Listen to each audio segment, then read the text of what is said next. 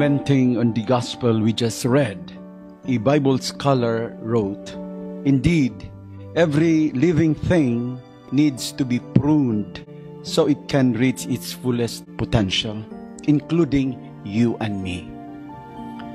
Matag binuhat nga adunay kinabuhi, apil kamo, apil ako. Kinahanglan pulungan aron makapamunga og daghan. Jesus said, I am the true vine, and my Father is the vine grower. If any of my branches does not bear fruit, he breaks it off, and he prunes every branch that does bear fruit, that it may bear even more fruit.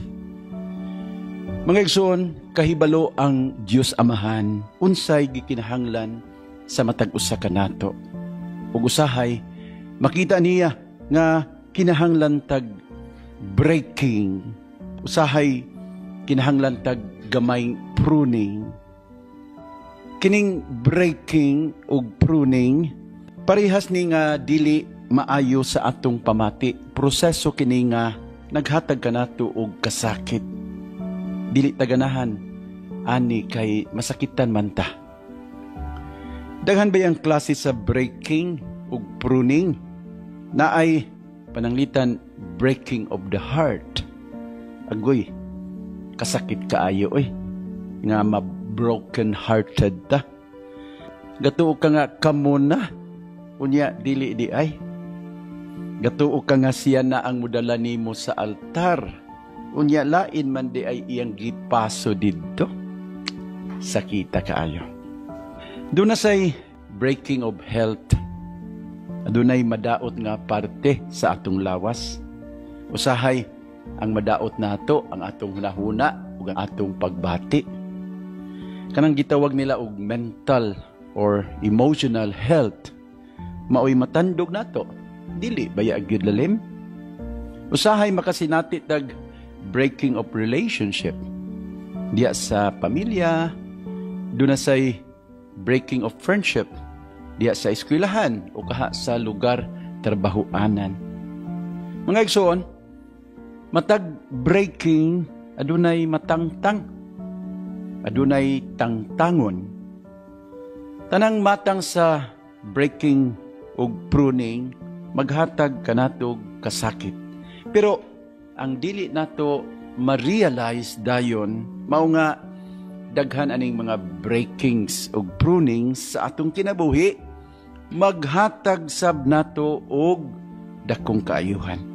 Kanong adlaw ah, ang ebanghelyo nagtudlo kanato nga kining mga breakings ug prunings nga mahitabo sa atong kinabuhi apil kini sa dakong plano sa Dios Amahan ang great vine grower gitugot niya nga adunay mahitabong breakings ug prunings dili aron nga maguba kita kun dili aron nga kita makapamunga og daghan. Sometimes, we have to go to a breaking in our life in order to have a breakthrough. Before a breakthrough, we sometimes need a breakdown. Dagang higayon, kini ang nahitabo sa atong kinabuhi.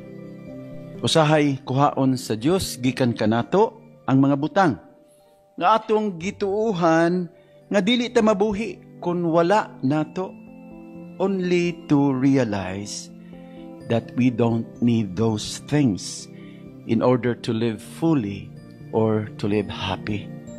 Makaamgura ta nga kadto di ang gikuha sa Dios kanato dili man di ito essential sa atong kinabuhi. Aduna bitaw hugot nga nag-ingon ayaw hilak kung gibiyaan kaniya Kay basin bayag giluwas ka sa Dios sa mas dakong problema. Daghan biyang mga hitabo sa atong kinabuhi. Usahay makaingon ta aksidente, calamity. Pero maghatag daay nato og daghang blessings. Di bita akong kaila, sus, berting hilaka, nahagbong man sa board examinations. Unya kay nahagbong lagi, naning kamot nga maka-abroad na lang sus didto sa abroad na dawat og trabahong maayo perti na noong dako ag sweldo tanawa, kasakit na himong dakong grasya. Ngunya, diha po nahitabo, gyud nga, perting hilaka, kay gibiyaan sa yang hinigugma. Kadtong lakiha, nakahatag ni dakong kasakit. Pero abi ninyo, uman ato, di lang lalaki ni abot sa kinabuhi, perting dato, ah, uy, buutan pa dyan kaayo. Sus, kapasalamat sa Diyos. Unya karon matod pa niya, mamuot na lang siya sa sulod. Kay katong lalaking mibiya niya, perting lisurag kahimtang. So giluwas siya. No?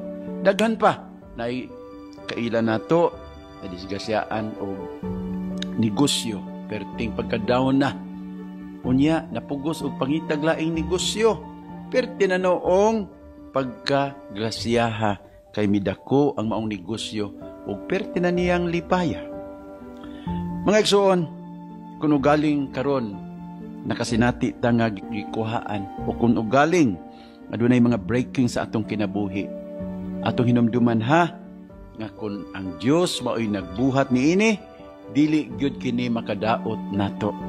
Dili kini makaguba nato. Hinuon kini maoy sinugdanan sa mga blessings ug dinhi ta mamunga ug daghang kaayuhan. And so we remember this always.